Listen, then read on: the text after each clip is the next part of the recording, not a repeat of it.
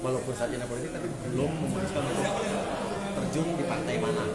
Karena istri saya juga bilang jangan main politik dulu jangan di politik dulu. Walaupun saya saja di politik jadi selama beberapa belas tahun banyak banget partai yang nawarin saya untuk gabung. Tapi pertama karena istri saya juga belum ada restu saya juga jadi tidak apa ya tidak belum belum ada niatan untuk memutuskan oke terjun di situ. Nah, tapi nggak tahu di tahun ini tiba-tiba Astrid bilang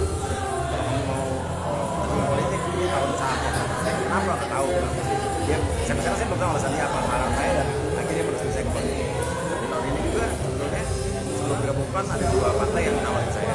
Agak besar tapi nggak tahu hati saya tuh tiba-tiba saya ingat dulu Eko Patrio sempat ngajakin saya politik di 65 tahun lalu tapi saya belum belum tertarik tapi Eko sempat bilang bahwa kalau udah ada minat hubungin gue dan pada saat itu gue hubungin Berarti gue langsung. Mau masuk gue pengen ngobrol.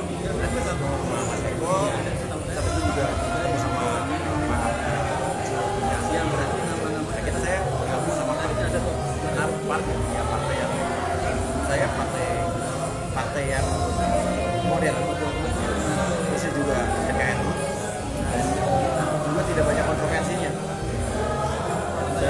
Bisa bisa bisa bisa ke mana aja jadi itu partai badan sebetulnya saya adalah kader pan lama waktu saya baru waktu dulu saya menjelang lulus kuliah tuh pan baru berdiri kalau masalah setelah dua tahun saya udah jadi kadernya tapi pada saat itu baru jadi kader aja jadi kayak kayak pengurus ranting di kelurahan lah kalau kurang lebih kayak begitu Saya tadi bilang sempat eh, rencana malam Iya. 2024 tapi mana? 2024 saya insya Allah dari dapil Jakarta Selatan Jakarta Pusat sama luar negeri dan saya tinggal di Jakarta. Insya Allah DPR